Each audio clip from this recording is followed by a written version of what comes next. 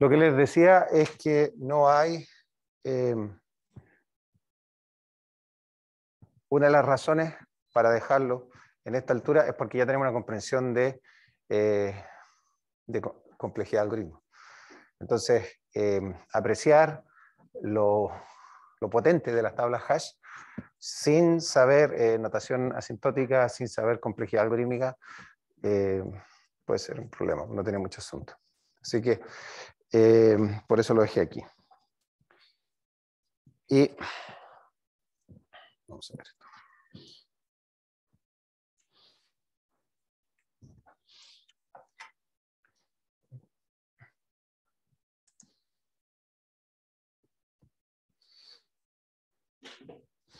Ya, entonces, eh,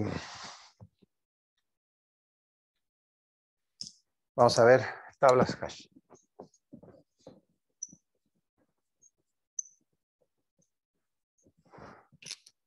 ¿Qué es una tabla hash? Todos ustedes ya han programado en Python, obligatoriamente, eh, así que saben lo que es un diccionario. ¿sí? Una tabla hash es un diccionario.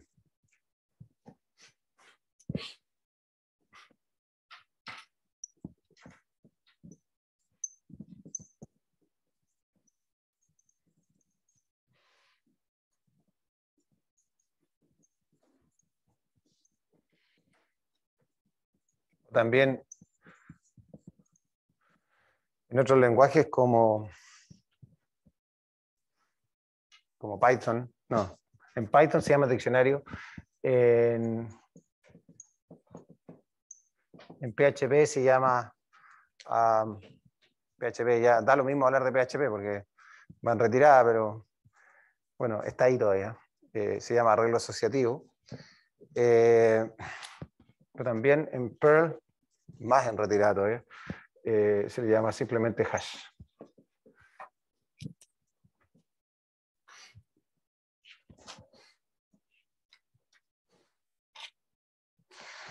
Y, y esto está, tiene asociado un, una clave y un valor, ¿sí? Y así.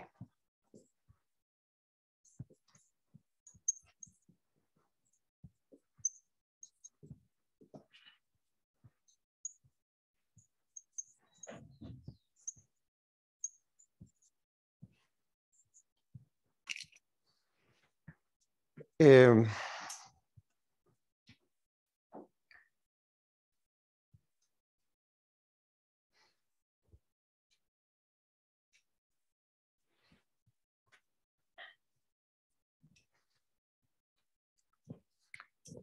¿Ustedes en, cuando programan en Python utilizan eh, el diccionario? No programan en Python entonces. ¿Ah? Diccionario, ¿no se acuerdan cómo era el diccionario? Ahí lo puse con la anotación de... Creo al que final, hay que usar, al final en el ramo de programación hay que usar diccionario. Al final del ramo de programación. Sí.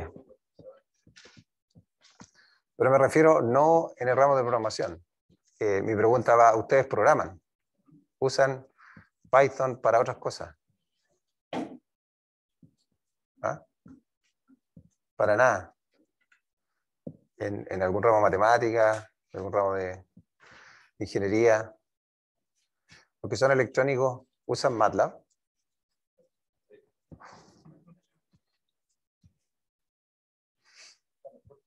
¿Ah? ah, sí, bueno, sí, es verdad. Sí. Tienen, sí, tienen mi disculpa.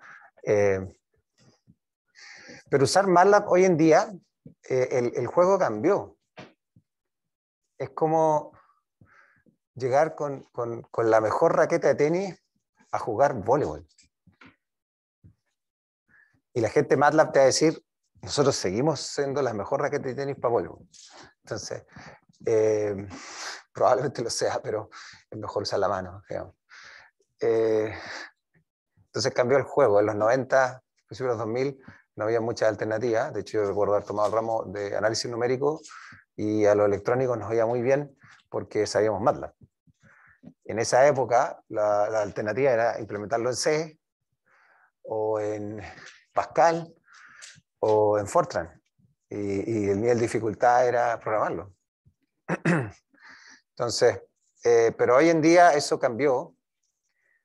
Y, por ejemplo, estamos haciendo una capacitación a Goelco que justamente enseñar a la gente a utilizar Python para hacer análisis de datos. Eh, entonces, y muchos de los trabajos que se buscan, se buscan, por ejemplo, los que son ingenieros matemáticos, eh, deberían dedicarle más que, más que un tiempo a esto, a Python, lo que les enseñaron y seguir aprendiendo para análisis de datos. Y tal vez meterse un poco más en, en grandes datos, cuáles son las técnicas, las librerías, etcétera, para trabajar en, con grandes datos. Pero eh, aquí iba yo con esto, es que está contando si ustedes utilizan diccionario cuando programan. Eh, parece que no programan mucho. Eh, si, si, ustedes programasen más, utilizar para una página. ¿Cómo? No sé qué, como que como para una implementación, pero muy pequeña. Eso como obligatorio. Claro, o sea, te forzaron a usar diccionario. No, pero como que el programa te dio utilizar diccionario. Ya. Como que la herramienta necesaria era que llegara a buscar y la única era el diccionario. Ya, ya pero eso porque la, la, el trabajo está encausado. Porque en el, como que en el ramo en sí, como que no aprendí mucho en el diccionario y después hacernos la página y sea, lo, interesante es que este par clave valor puede ser cualquier cosa. Eso, esa es la, la, la, belleza que tiene el diccionario o el arreglo asociativo. ¿Ah? No sé si era con Java o con Python. Ya, da lo mismo, da lo mismo. Bueno, la herramienta esta del diccionario es conocida como, como la navaja suiza de la programación.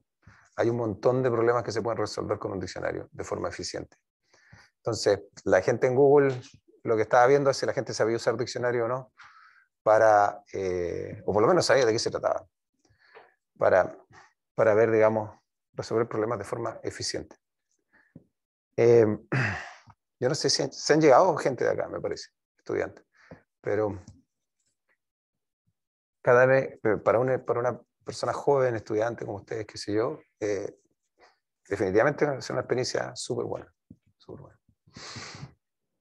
Ya. Eh, ¿Qué funciones hace el diccionario?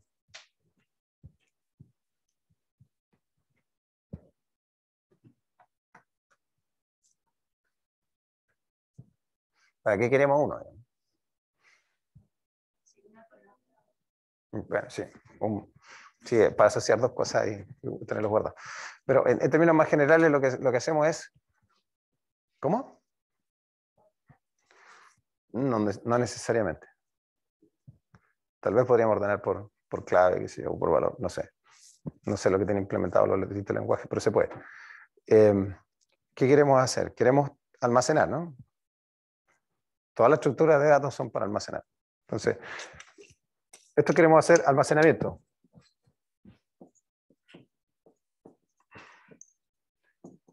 Eh, lo que se llama insert.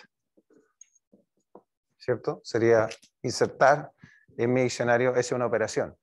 Eh, ¿Qué otra cosa queremos hacer? Buscar.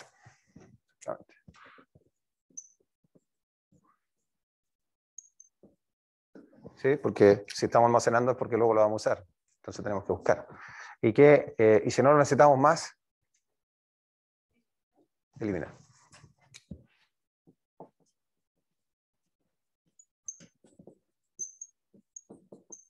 Estas son las tres funciones de, un diccionario, insert, search, delete.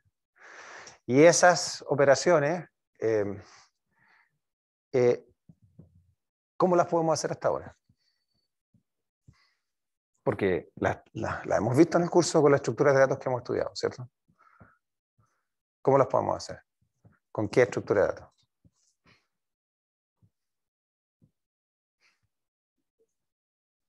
¿Mm?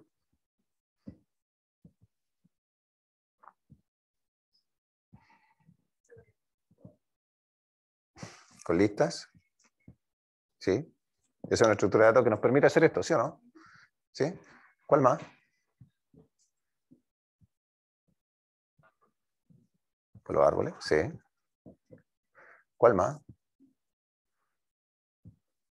Con todas. O sea, básicamente con todas, ¿cierto? Toda la estructura de datos nos permiten almacenar, buscar, borrar eh, elementos, ¿cierto? Eh, ¿Por qué te habla hash entonces? ¿Por qué no lo hacemos con arreglo? ¿Qué ventaja tienen los arreglos?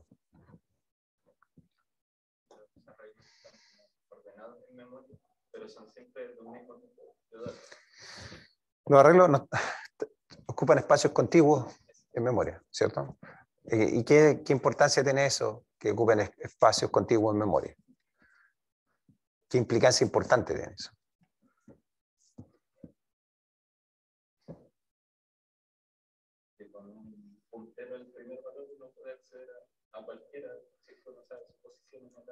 ¿Ya? ¿Eso es tiempo de acceso? Constante. Los arreglos tienen tiempo de acceso constante. Las listas tienen un tiempo de acceso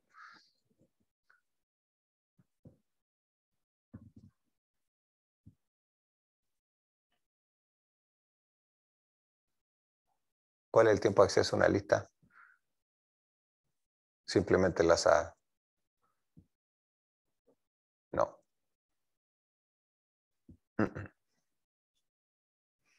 Yo tengo en, elemento almacenado la lista. ¿Cuál es el peor caso? Que lo que busco, busco no está. Entonces tengo que llegar hasta el último preguntando y es lineal. Tiempo lineal. El árbol binario de búsqueda, ¿qué tiempo de acceso tiene? Logarítmico, muy bien. Logarítmico. Eh, una, un arreglo ordenado, si yo no sé la posición del elemento que ando buscando, ¿qué tiempo de acceso tiene?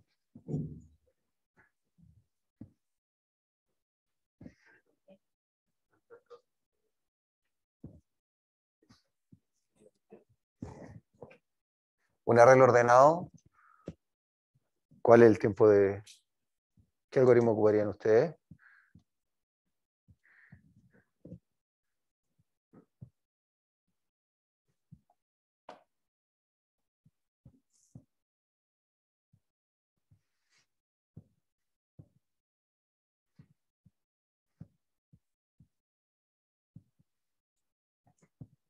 ¿Qué estrategia de diseño de algoritmo utilizarían?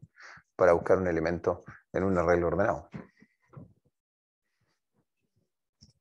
Sí. ¿Y eso cómo se llama esa estrategia de búsqueda? Utilizando dividir y conquistar.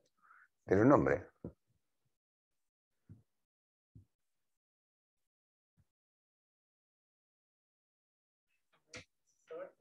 ¿Cómo?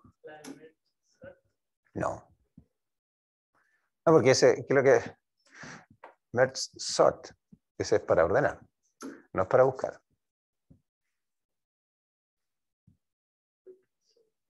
Ese sort significa ordenar en inglés. Ese ordenamiento rápido, quick, sort. Heap, sort. Ese ordenar. Esto es buscar.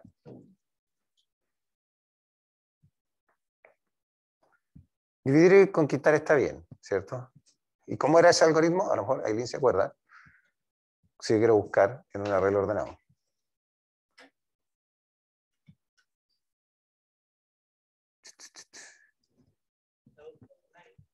Búsqueda binaria, ¿encontraste?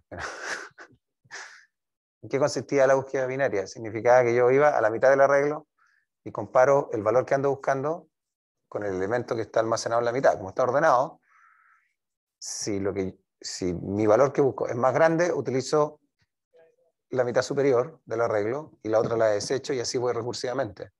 ¿Este qué tiempo de ejecución tiene?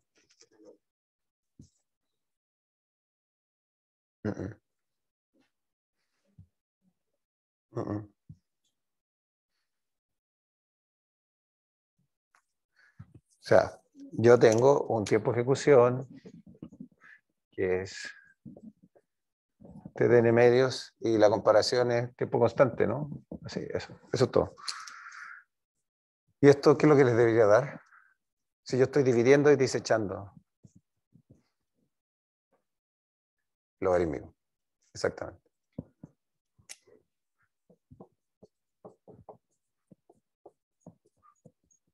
Entonces, si yo busco en un arreglo ordenado, claro que no estoy buscando por clave, sino que estoy buscando por el valor, eh, es tiempo logarítmico.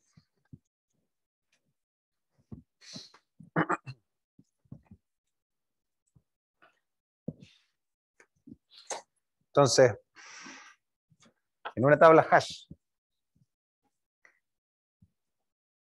Quédense con esta idea en la cabeza. Cuando yo tengo un arreglo ordenado es logarítmico. Cuando yo, tengo, cuando yo sé la posición en un arreglo, ¿cierto?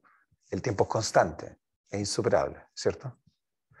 Cuando yo tengo una lista, el tiempo de búsqueda es, o tiempo de acceso, tiempo de búsqueda es lo mismo, es lineal, ¿cierto? Por lo tanto, tenemos, tenemos lo mejor, después viene lo segundo, que es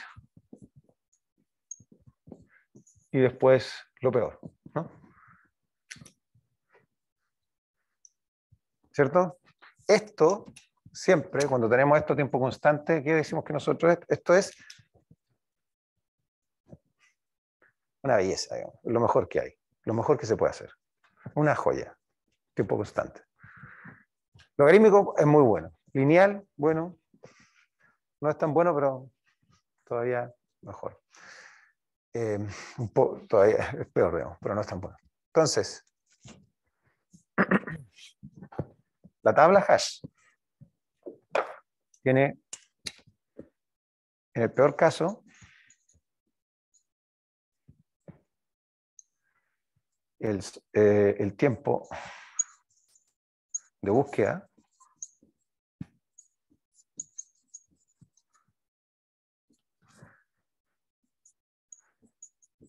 el lineal, en el peor caso. ¿Mm? Es decir, no es mejor, en el peor caso, que una, una lista simplemente la azar, que es lo peor de las cosas que tenemos disponibles hasta ahora, ¿cierto?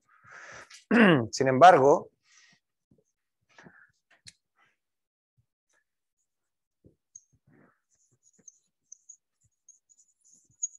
bajo supuestos razonables, Aquí viene la parte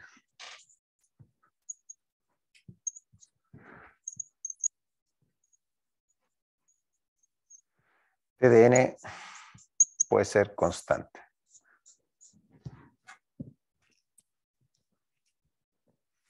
Es decir, si yo diseño bien la tabla hash y, tengo estos supuestos razonables,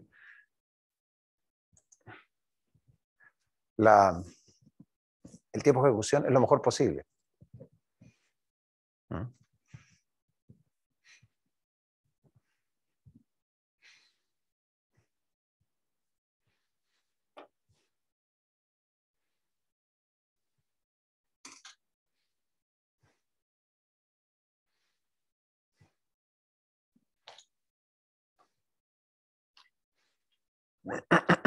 ya. Y tenemos que tener presente esto, que tenemos tenemos unas claves que vamos a llamar K y vamos a tener los valores que están a otro lado, ¿cierto? Tenemos que armar este mono. Entonces, eh, esta, la tabla hash es la generalización de un arreglo. Y,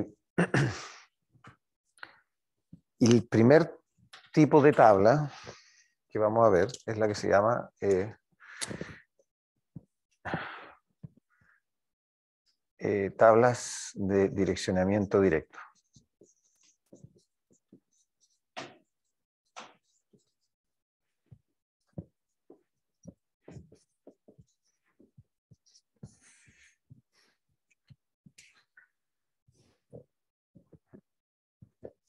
Entonces veamos este problema. Las claves en Python, ¿cómo pueden ser las claves de un diccionario?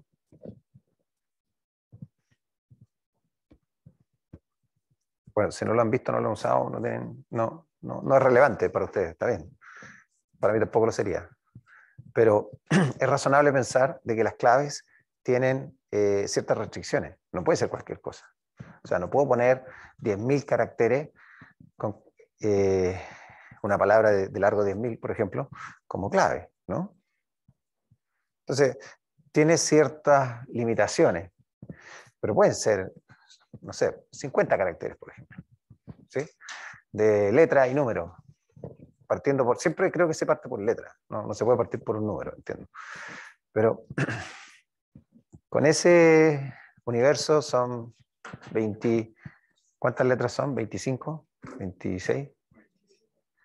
27, porque la ñ no está, ¿cierto? 27 y tenemos 50 posiciones. ¿Cuántas claves diferentes podemos tener?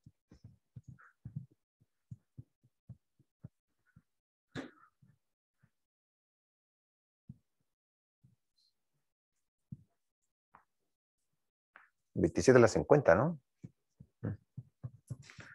27 a las 50 eh, claves diferentes. Esa, ese número de claves diferentes es lo que nosotros vamos a llamar nuestro universo.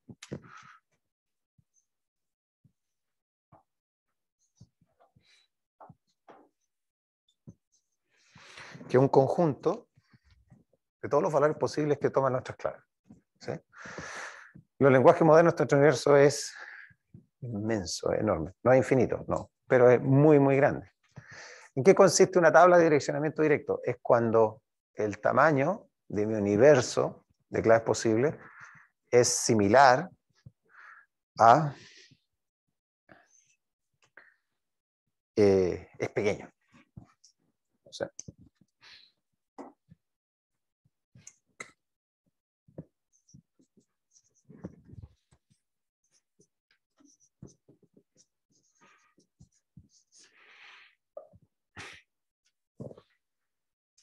Entonces, mi tabla, tengo las claves, voy a tener un subconjunto aquí donde tengo almacenado.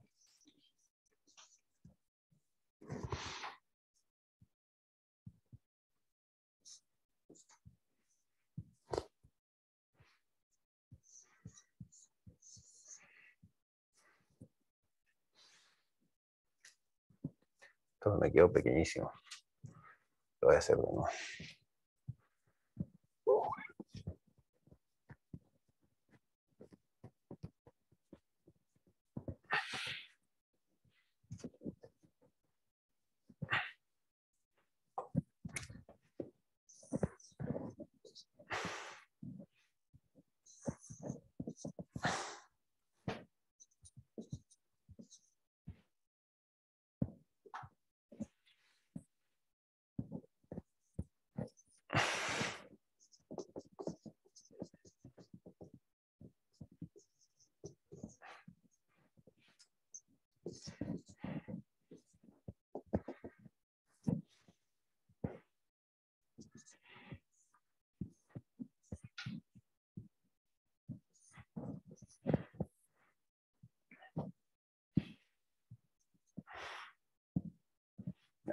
Completo esto.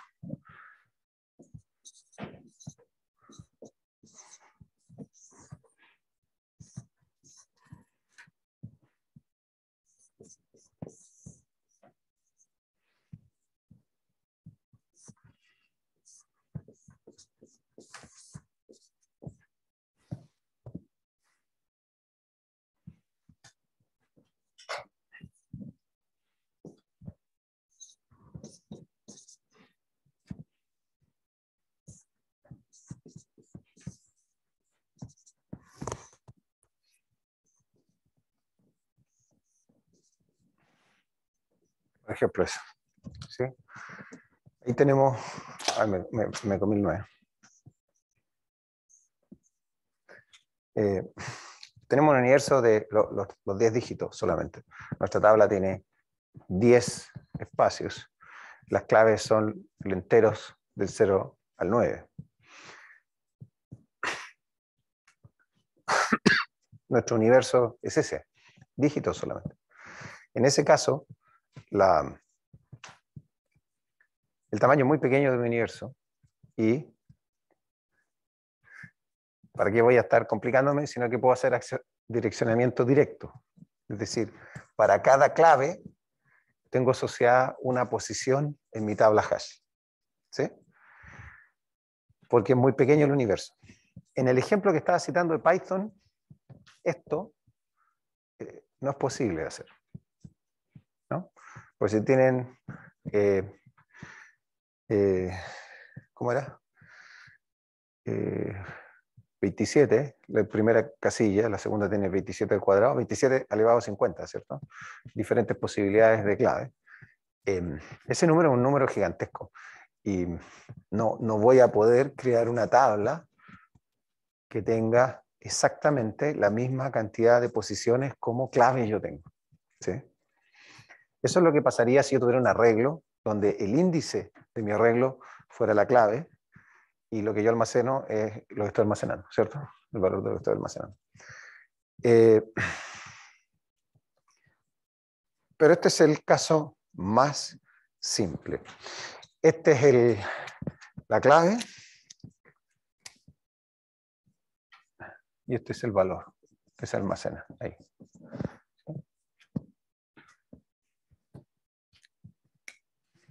Entonces, por eso se llama almacenamiento directo, porque hay una correspondencia uno a uno entre una clave y una casilla en la tabla.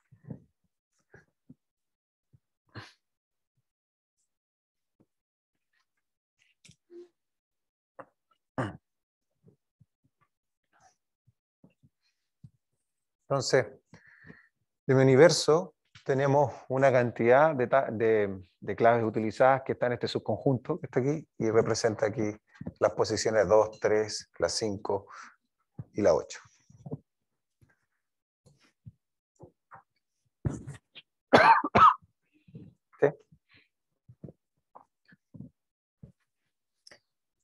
¿Qué diferencia tiene esto con un arreglo?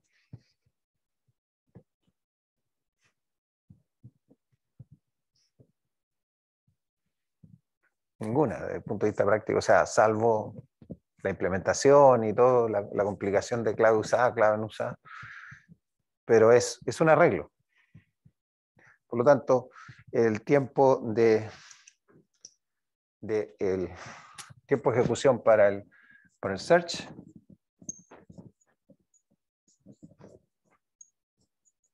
es constante, ¿cierto? Porque si yo sé el valor de una clave, sé inmediatamente o sea, si sé la clave, sé el valor inmediatamente. El, tiempo de ejecución del insert también es constante. ¿sí? Y el borrar también.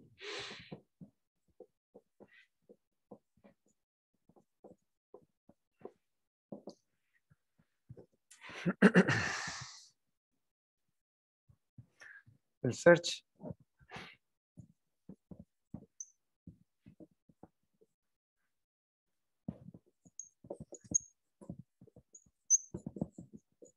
Es eso. ¿sí? Se retorna el valor almacenado para una clave K. ¿sí?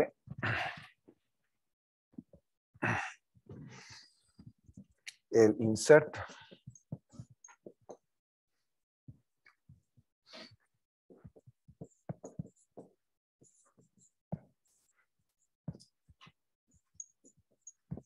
es eso. ¿Cuál es la clave asociada a X? Se le asigna eso, esa posición, la tabla. Eso es, ¿cierto? Y el delete. Este.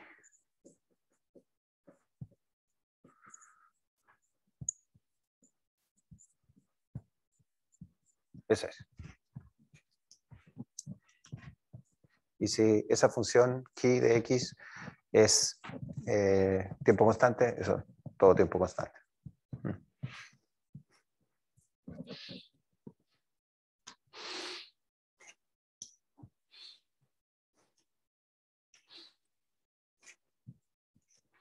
Ya.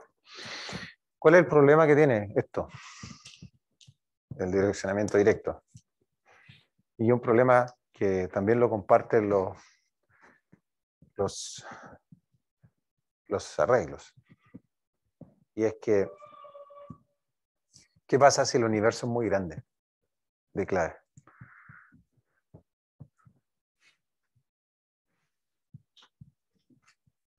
No es práctico implementar una tabla de un tamaño tan grande. Esto no escala. Ese es el problema.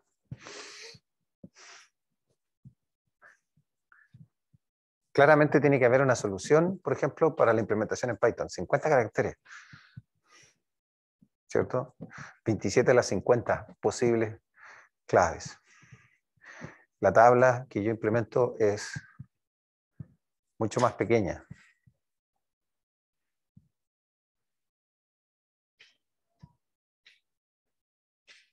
¿Cómo hago eso? ¿Se ve el problema? Lo voy a dibujar. ¿Puedo, ¿puedo borrar?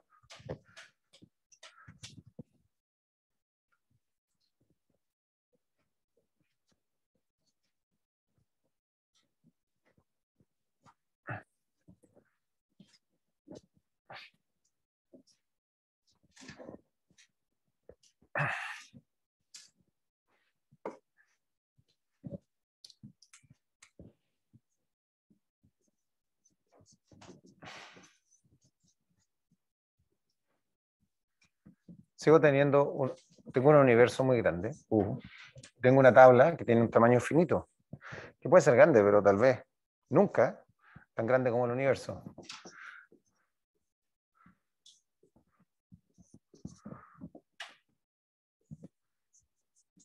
M menos 1. ¿Cierto? Eh, de tamaño M. Tengo M elementos. Eh, yo quiero eh, entonces poder, para cualquier tabla, para, perdón, para cualquier clave en mi universo, cualquier clave, asociarle a esa clave una posición en una tabla de tamaño m. Supongamos que ese, vamos a decir, no sé, son 100 millones o 100 mil millones. Eh, de valores. Aunque hoy en día, con la capacidad de computación que hay, puede que 100 mil millones no sea tan grande. Bueno, pero pensemos que eso es muy grande para, para mi computador, eso es muy grande. 100 mil millones. Y cada puede ser cualquier cosa aquí. puede, ser el, puede ser 1, 0 o 100 mil millones. Y todo, cualquier valor entre medio. ¿Cómo hago para asociarle acá, ya cualquiera de los elementos que voy a almacenar, que van a tener claves muy disímiles, asociarle una posición en la tabla. ¿Se entiende?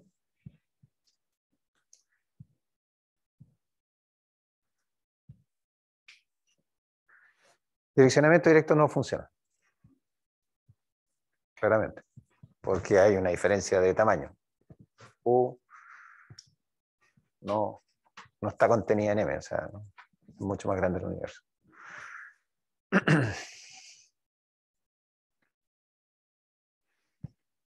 ¿Cómo lo harían ustedes? ¿Cómo?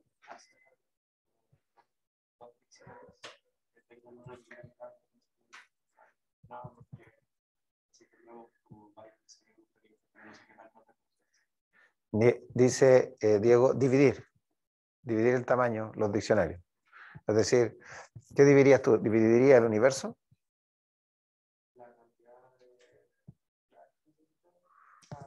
Es decir, mi, universo, por ejemplo, si son 100 mil millones, ¿dónde lo dejo? No sé, pues, hasta 100 mil millones, o sea, hasta 500. 100 mil millones, ¿cuál es la mitad de eso? 50 mil millones y 50 mil millones. ¿Eso? Asociado, todavía tenemos un problema grande. ¿Sí? Porque luego habría que seguir viviendo hasta que fuera eso eh, manejable. Pero no te garantiza, pero tienes que tener todas las otras ahí disponible por si aparece una clave en, un, en, un, en, una, partición de las que estás haciendo más, más allá. ¿Mm? ¿Sí? vacías, por decirlo, y como sabes, si las debo usar. Eh, ¿dónde, eh, ¿Dónde están los espacios vacíos? Si el. Eh. Ya, hay que entender bien el problema tal vez. Sí, o sea, tu, tu, observación tiene que ver un poco de cómo estoy interpretando yo este tema. ¿vale? Entonces quiero aclarar una cosa. Esto es una clave, pero yo no puedo almacenar más allá de m elementos en mi tabla hash, ¿cierto? Entonces, supongamos que estoy ocupando la mitad de la tabla hash, m medios. Por decirlo. Todavía la, la, diferencia entre la cardinalidad de un conjunto y otra es enorme. Entonces, sin embargo, la mayor parte de los elementos de U no se usan, porque solo puedo utilizar M, ¿cierto? Entonces, ese, ese es el, ahora, ¿se entiende un poco más? Eh, eh, me gustaría escuchar otra vez tu observación de los espacios vacíos.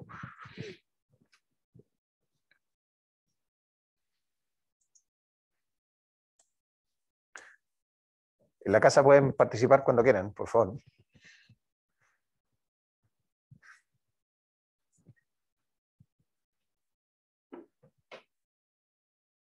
¿Se dan cuenta que es un problema interesante? A mí no se me habría ocurrido. Esto es súper injusto pedírselo a ustedes, pero eh, siempre tengo la esperanza. No, no tengo la esperanza, estoy convencido de que ustedes son mejores que yo, por eso les exijo. A ver, eh, pensemos un poco. Tenemos, tenemos que pasar de aquí, del universo, a nuestra tabla. ¿Qué podríamos hacer? ¿Sí? ¿Ya?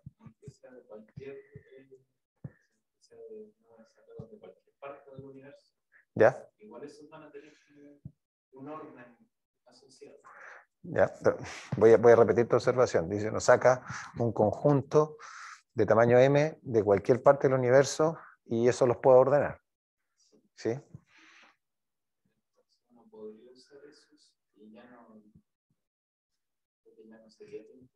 Piensa tú que tú no sabes cuál clave el usuario va a usar. ¿Cierto? Cuando yo tengo en Python y hago un diccionario, es uno, el que está detrás del teclado, que le pone lo que se le cruzó por la cabeza en ese momento como clave. Entonces, nosotros no tenemos control de qué parte del universo se va a utilizar.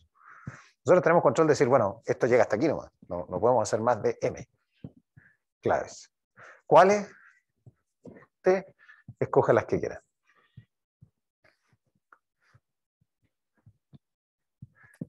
¿Para qué complicarse? Ignacio tiene una cara de decir, ¿para qué complicarse con esto si la cuestión está hecha? la razón es para entenderla, no para usarla. Siempre hay una diferencia entre el, el, mecánico que te arregla el auto y el ingeniero que diseña el motor, o la ingeniera que diseña el motor. ¿Sí?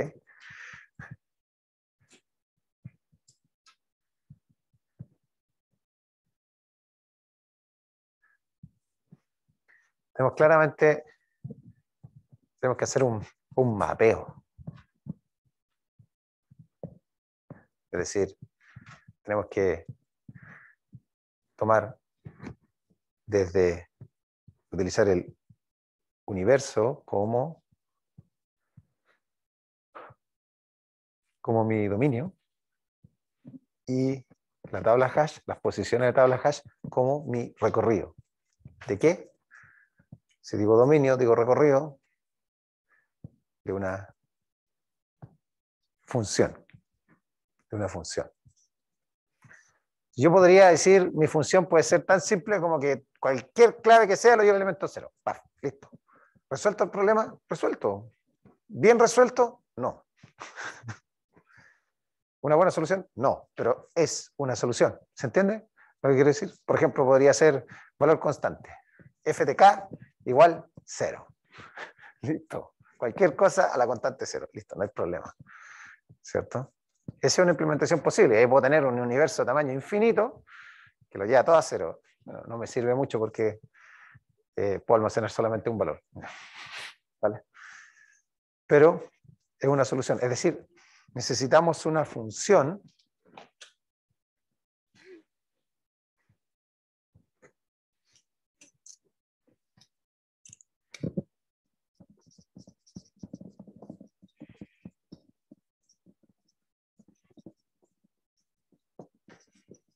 que mapee, y esto me gusta. ¿Cómo sería en español mapear? ¿Es un verbo mapear? O sea, seguro que es un anglicismo. Entonces, no estoy seguro que sea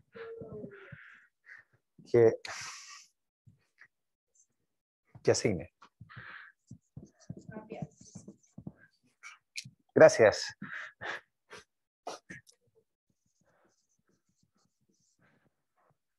Si se cree, mapee. Mapee el universo.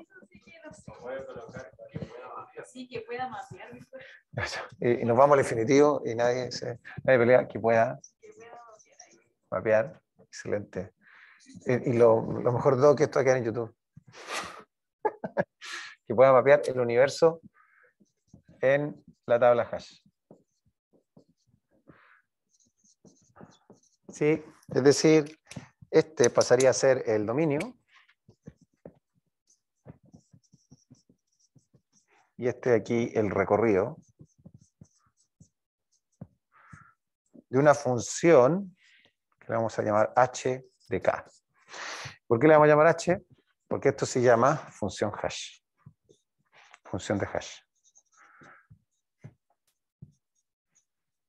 ¿Sí? ¿Qué otra cosa podemos hacer? Por ejemplo, podríamos decir, si, si mi universo son enteros, números enteros, y cuando yo almaceno en, binario cualquier cosa, son todos enteros, ¿cierto? Eh, pues los enteros pueden ser pares e impares, ¿cierto? Entonces, si, si es par, al 0 y si es impar, al 1. Listo.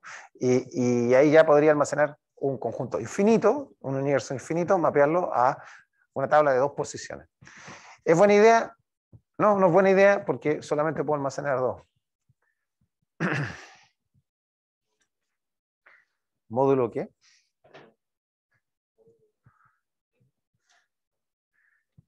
Ya, es, es una posibilidad, ¿cierto?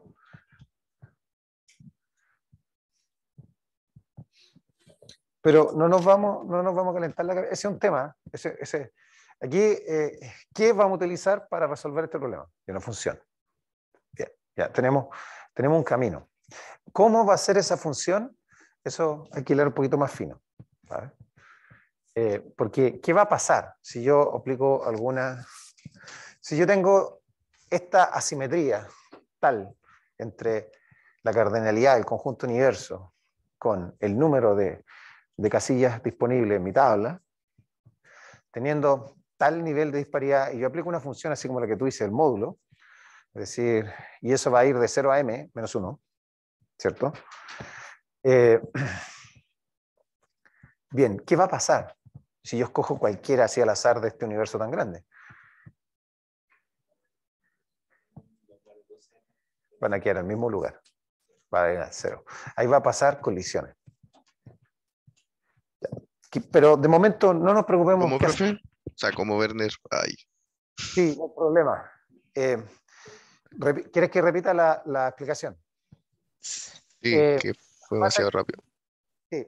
Eh, David, David hizo el comentario que podríamos utilizar una función HDK que sea, lo vamos a desarrollar la idea, HDK igual mod, ah, ¿cómo se escribe esto? K mod M, ¿cierto? Así se escribe. Es decir, a cualquier valor entero que está ahí almacenado en mi universo, estoy suponiendo que son enteros, y si no, siempre los puedo convertir en enteros, eh, le aplico la, función módulo, que es el resto de la división entera, ¿cierto? Eh, y eso, eh, ¿qué, me produce? Me produce valores entre 0 y m menos 1. ¿Cierto? Entre 0 y m menos 1. Pero si una, un K1 tiene igual m y un K2 es 2m, h de k va a producir lo mismo aquí, que va a ser 0. ¿Sí? Para K1 y para K2. Y eso eh, significa que tenemos esto, este fenómeno, que se va a dar con cualquiera sea la función de hash que nosotros se nos ocurra, se llama colisión.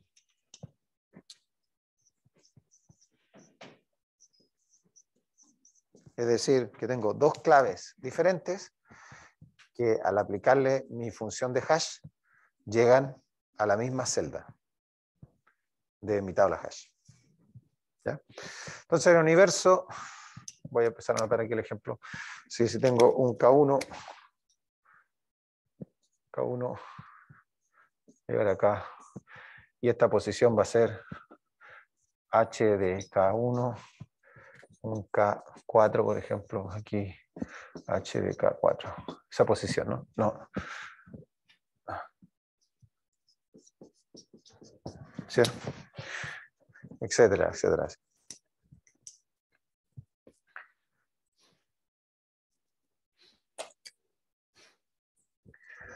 Y el ejemplo de, David era, por ejemplo, tenemos K4 y tenemos K5, que va a llegar aquí igual.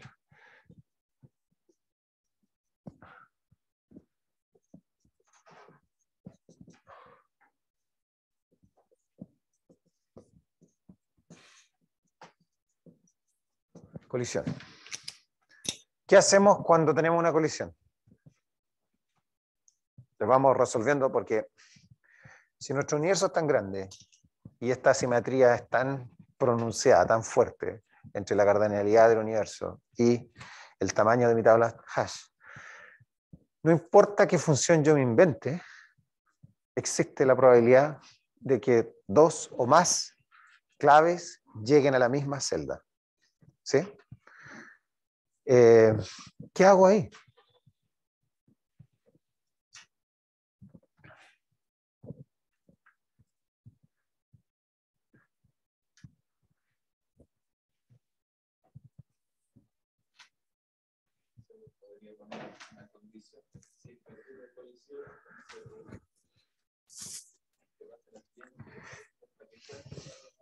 Esa es una estrategia, de hecho.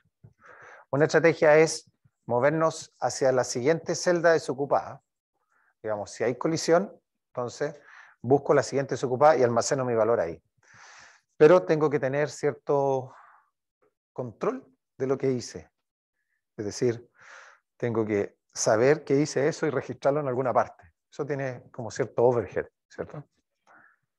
De hecho, estaba visto en el curso resolver, eh, no, no recuerdo cómo se llama eso, tiene un nombre, resolver las colisiones de esa manera. Pero también hay otras formas. ¿Qué otra forma podríamos hacer?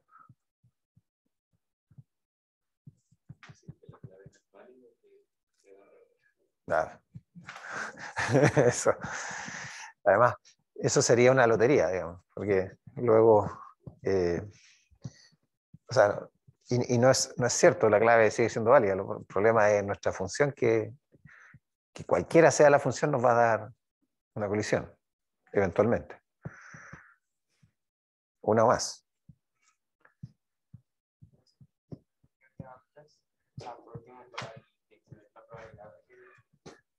No, no te escucho, Diego. ¿Qué, qué, qué quieres decir con rastrear? O sea,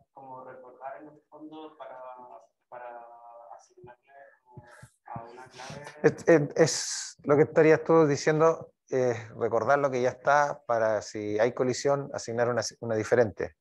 Lo que pasa es que tú no tienes control sobre la clave, la clave es la asigna el usuario, ¿cierto? Tú tienes control, es dónde la almacena, eh, dónde viene almacenado el valor asociado a esa clave. Eso sí tienes control.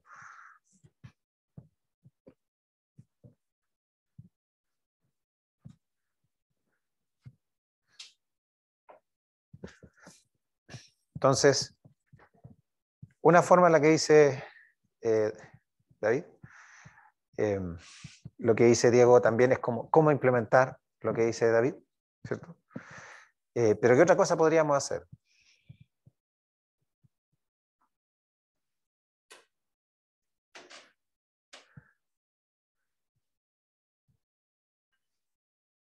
Es difícil imaginárselo porque está como muy abstracto esto. Mm, ¿Cierto? Pero piensen que la tabla puede ser un arreglo, ¿cierto? ¿Sí? Porque es tamaño fijo. Eh, pero recuerden que yo en un arreglo, ¿qué, ¿qué, cosas puedo almacenar en un arreglo?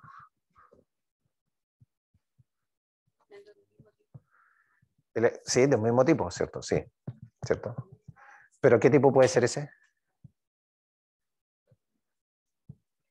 No escucho.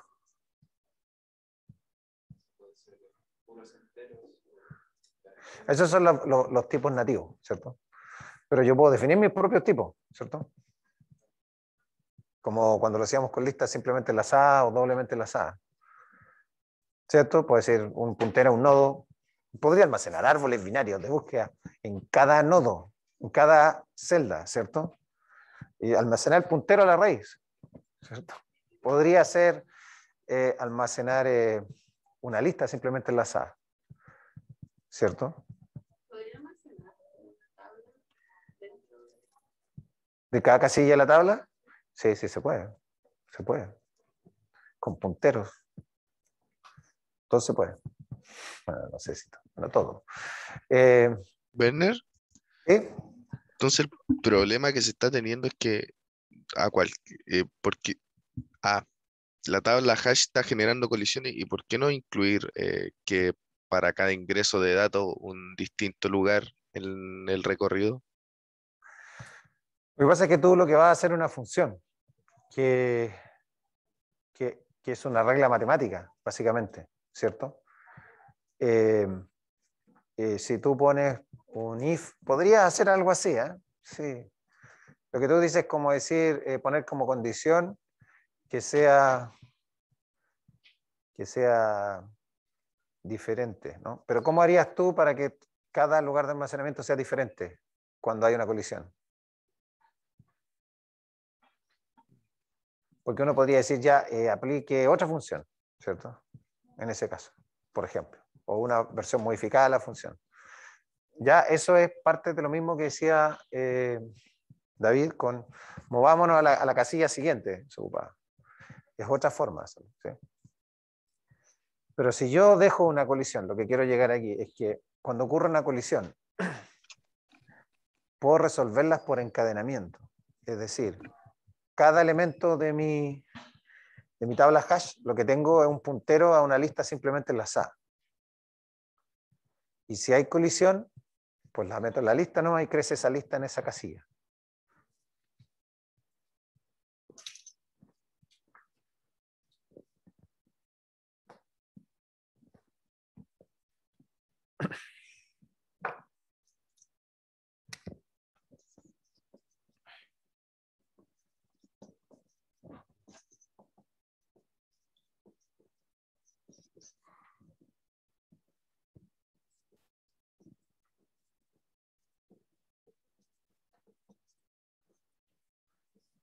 Entonces, cuando se da el caso de una colisión, como este caso que está acá,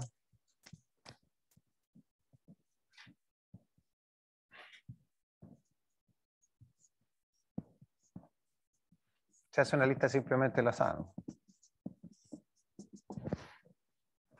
¿Qué ventajas tiene esta solución? No se pierden datos. Eh, la otra ventaja que tiene es que, eh, dada una, aplico mi función hash que es única, siempre me va a llevar a esa misma casilla. Por lo tanto, si hay muchas colisiones en esa casilla, la lista va a ser muy larga y es una desventaja. Pero eh, eventualmente, si esto se diseña más o menos bien, puede funcionar. Y no tengo que andar buscando dónde fue que dejé almacenado, por ejemplo, si me, me cambio de lugar, etcétera. Eh, elimino todo ese overhead de poder controlar dónde dejé la clave cuando había una colección, ¿cierto?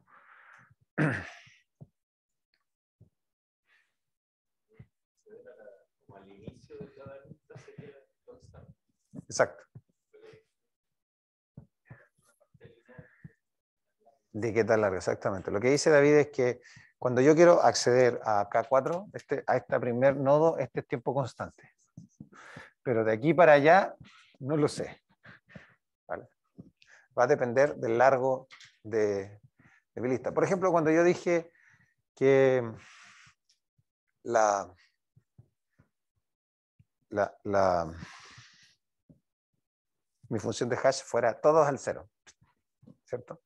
Entonces quiere decir que todos van a quedar encadenados en una larga, en una lista simplemente la Funcionaría, pero eh, sería tener ahí el tiempo de búsqueda a tiempo lineal, porque estarían todos exactamente en la misma celda, una sola lista.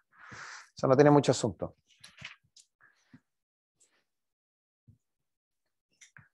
Pero si esto se diseña bien, y se diseña bien, tiene que ver mucho con qué cosa, con eh, el diseño de la función de hash, que todavía no nos metemos ahí. Y no sé si alcancemos hoy, pero... Werner, ¿eh? in- incluso si uno quiere volver a acceder, por ejemplo, ya no puede acceder tan directamente a K5, como buscándolo como datos en un, dic- en un diccionario de Python, porque ahora tenéis que encontrar primero K4 y después K5. Lo que pasa es que cuando busco K5, el elemento que está en el diccionario, yo aplico la función de hash a esa clave y me va a llevar a la celda 1, ¿cierto? Y luego ahí tengo que recorrer la lista, ¿cierto? Ah, ya. ¿cierto? Igual cuando quiero hacerlo con K4, tengo que aplicar la función de hash a K4, eso me deja el valor 1, voy a la celda 1 y empiezo a buscar. Como, Q4 como K4 es, es el primer elemento, eso es tiempo constante. Pero dependiendo del largo de esa lista que se va armando aquí, eh, es el, el tiempo de ejecución. Por Sí. eso eran largo constante en casos ideales, porque para eso tendríamos que tener todas las celdas ocupadas solamente por un elemento. O sea, tendríamos que tener listas de largo 1. Exacto. Ahí es tiempo constante. Ahí es tiempo constante. Vamos a ver el, el análisis de esto. Eh, primero, ¿cuáles son las funciones para insert?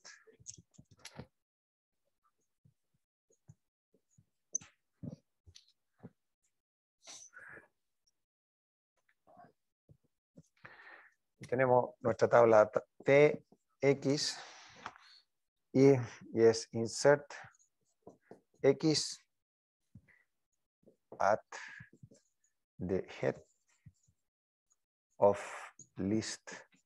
Esto no parece pseudo código. T de H de Q de X. ¿Sí?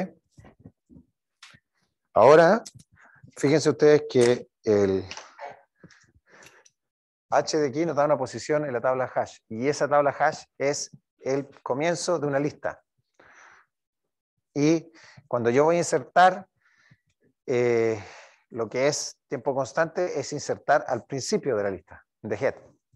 ¿Sí? Eso nos da un tiempo constante. El search.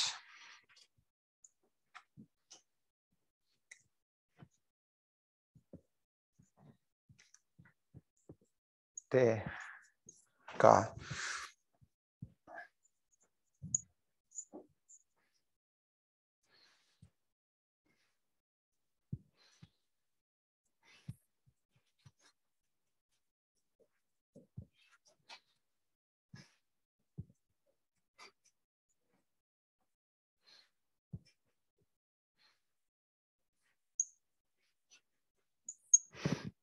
¿Sí? Y el delete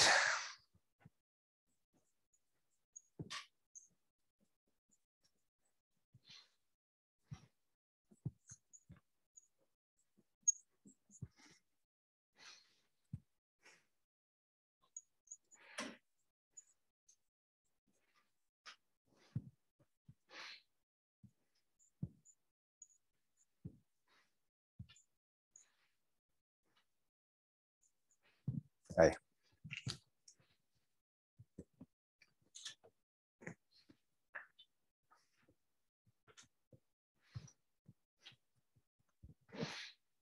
Entonces,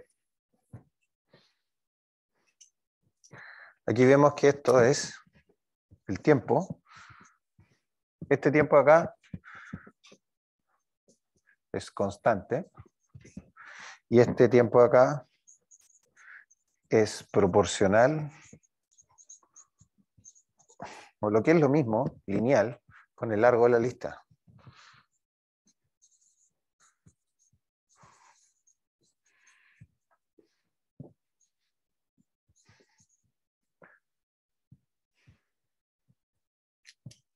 ¿Sí? Y lo mismo para delete. Delete tiene también un tiempo proporcional a lo largo de la lista. Porque primero tengo que buscarlo. Eso es lo mismo.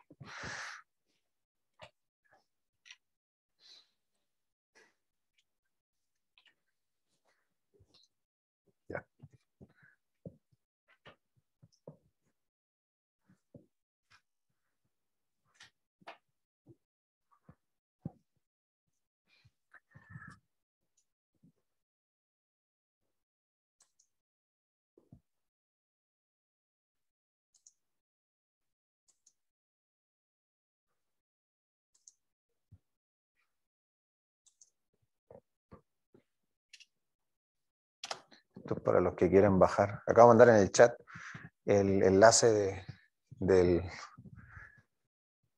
eh, la pizarra por si quieren bajar ahí el PDF, es más fácil. Ya. Bien, ahora veamos el tiempo de ejecución de estos que están acá. De search y delete, que no están claros. ¿Sí? Si es proporcional a lo largo de la lista y nosotros tenemos muy mala suerte, hemos- nuestra función hash es muy mala, como la que decía, mandemos todo a cero, eh, ¿qué va a pasar ahí? Que vamos a tener un, tiempo lineal, ¿cierto? Entonces no tiene mucho asunto. Eh, ¿qué, qué otra cosa? A ver, ya. Entonces veamos cómo, cómo funciona esto.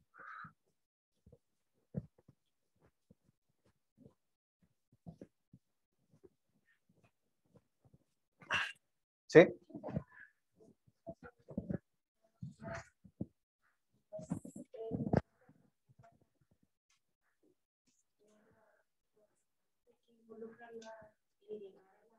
Eh, Aplicar la función hash, sí, así es.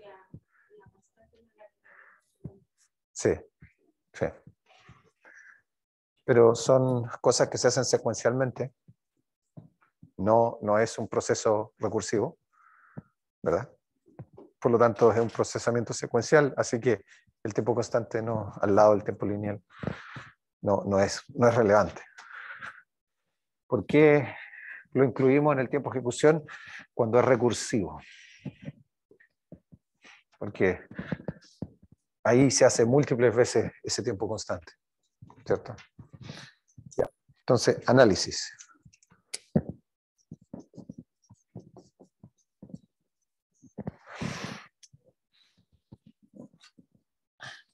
Entonces, vamos a definir el factor de carga.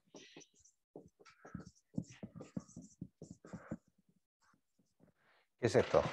Como alfa igual n sobre m, ¿sí? Eh, donde m, m es, eh, ya lo sabemos, es el tamaño de la tabla hash. Y n es el número de elementos que efectivamente está almacenado en la tabla.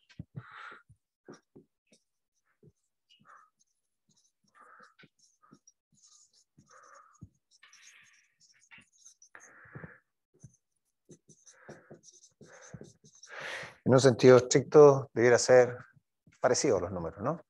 Eficiencia. O alfa debiera ser menor que 1, es decir, que el tamaño de mi tabla es más grande que el número de elementos que quiero almacenar. Eso sería lo razonable. Eh, pero eventualmente puede ser mayor que 1 porque lo estamos haciendo por encadenamiento.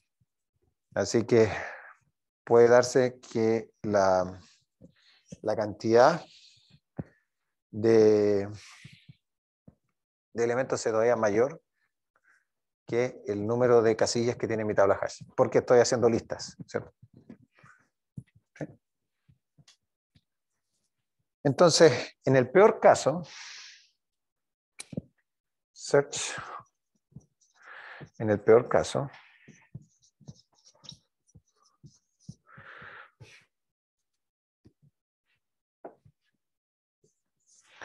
caso es, tiene, en el peor caso TDN es tetadn, ¿sí? ¿Y cuándo ocurre eso? Cuando todos los elementos, por alguna eventualidad, quedan almacenados en la misma casilla.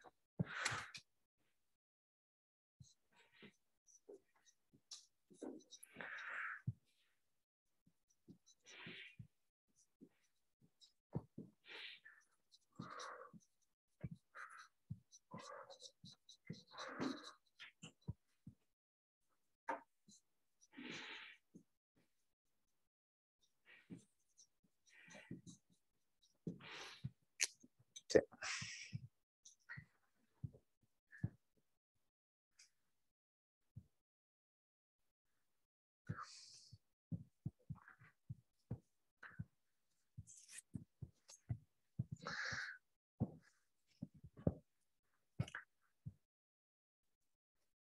Bien.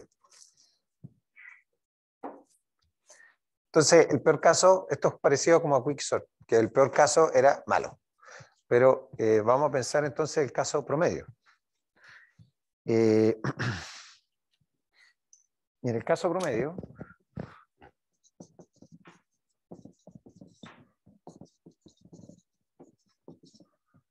vamos a suponer, suponer que la función, función h, H cumple con lo que se llama Simple Uniform Hashing.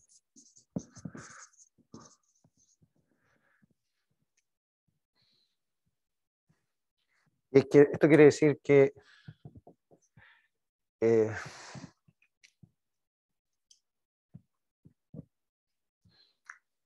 que cada clave tiene la misma probabilidad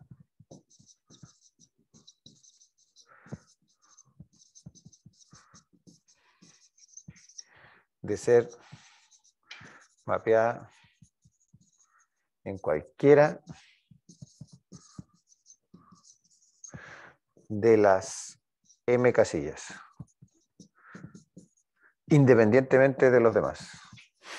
La, condición de independencia, aquellos que no han tomado probabilidades. No han tomado probabilidades, ¿verdad?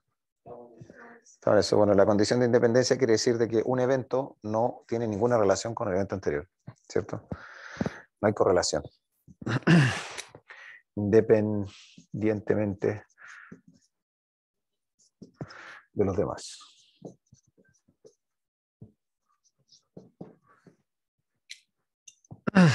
Lo explico así, es como, por ejemplo, cuando yo tiro una moneda y sale un resultado, perfecto, y luego voy a tirar de nuevo, cuando tiro de nuevo, este nuevo lanzamiento no depende en lo absoluto del resultado anterior.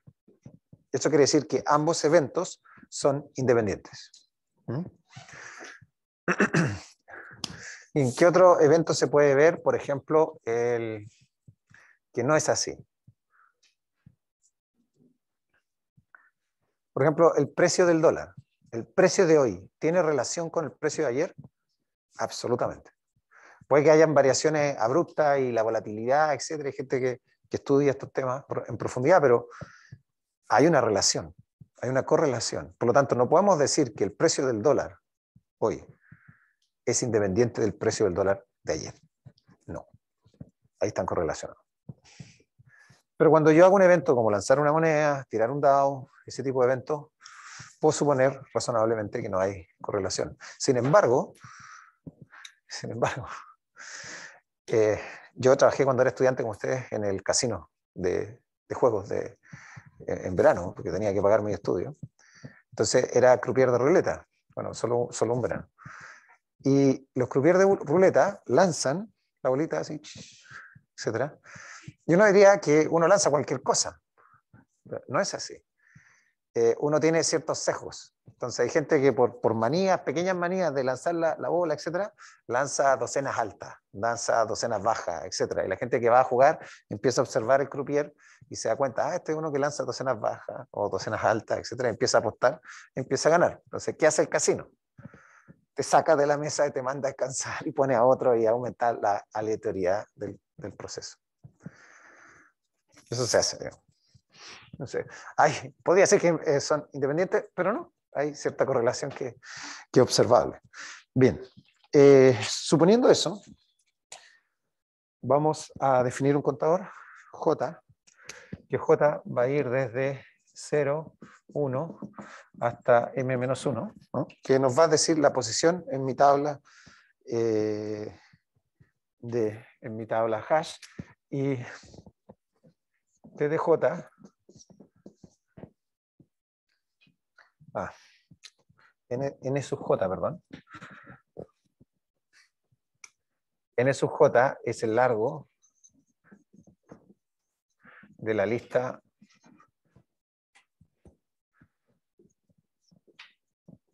de J. ¿sí?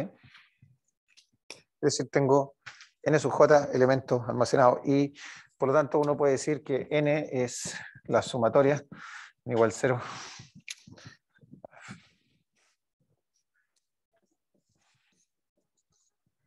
¿Estamos pasando ahora? ¿A qué hora termina esto? Hace cinco minutos. Ya, déjame terminar esta idea para dejarla anotada. Ah. Cierto. Ciertamente, ¿no? En el total, si yo sumo cada una, etcétera, está. Ya. Entonces, eh, dejémoslo hasta aquí, ¿vale? Lo retomamos esto la próxima clase. Perdón, porque. eh, pero ¿se está entendiendo el concepto? Puede ser muy abstracto. Luego las implementaciones son muy prácticas y se pierde esta conexión. Pero eh, es un tema importante. ¿no? Ya está. Eh, ¿Preguntas en la casa? Sí.